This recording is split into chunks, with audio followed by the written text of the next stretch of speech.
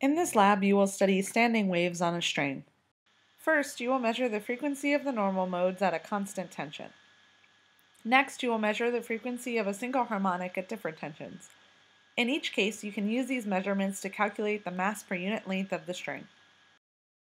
For traveling waves on a string, the velocity v is equal to the square root of the tension over the mass per unit length of the string. We can also express the velocity as the product of the frequency and the wavelength. The wavelength is a linear distance for the wave to repeat, and the frequency is the number of times the wave repeats per unit time. For transverse waves, the wave propagates in a direction perpendicular to the motion of the particles in the medium. Standing waves are created at resonant frequencies. At these frequencies, the incoming and reflected waves add constructively to create a standing wave. Different resonant frequencies are called harmonics. We label each harmonic with a number n. The stationary points on the standing wave are called nodes, here marked in red. The points of maximum amplitudes are called antinodes. The harmonic number n is equal to the number of antinodes.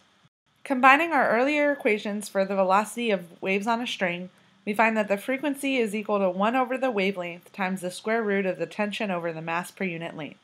For each harmonic, the wavelength is equal to 2 times the length of the string divided by n. Combining the above equations, we find an expression for the frequency of the nth harmonic in terms of the length of the string, the tension, and the mass per unit length of the string. To start the experiment, first measure the mass per unit length of the string using a triple beam balance and the meter stick. Tie the string to the blue metal piece on the speaker and thread it through the white plastic piece in the center. Connect the red and black cables to the speaker. Then connect these cables to the power amplifier and connect the amplifier to the Pasco interface. Next, clamp the metal bridge to the table with the pulley. Stretch the string across the table over the metal bridge and hang weights from the string. You can change the tension on the string by changing the amount of mass. To control the power amplifier with Data Studio, select Channel A and then choose Power Amplifier. A dialog box called Signal Generator will open. Here you can select the wave shape, the frequency, and the amplitude. Choose sine wave for the wave shape. When adjusting the amplitude, do not set it above 5 volts. You can change the frequency and amplitude while the power amplifier is on by pressing the plus and minus buttons. You can also set the step size of these changes using the left and right arrows. Starting at 0 Hz, sweep through a range of frequencies to find the harmonics. These frequencies will have the largest amplitudes.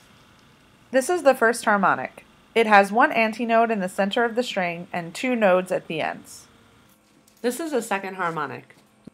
The node in the center of the string is stationary. You can touch the node without disturbing the standing wave. If you touch any other place on the string that is not stationary, the wave will collapse. Record the frequencies for at least five modes. Remembering our equation for the frequency of these modes, how do you expect the modes to relate to each other? Then choose a single mode and find this mode with five different tensions. Record the frequency for each tension.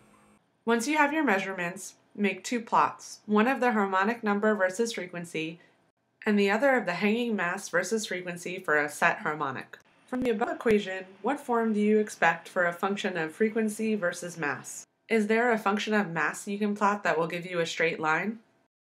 Once you have straight lines for both plots, find the slopes and use these slopes to find the mass per unit length of the string. Does this calculation match your earlier measurement?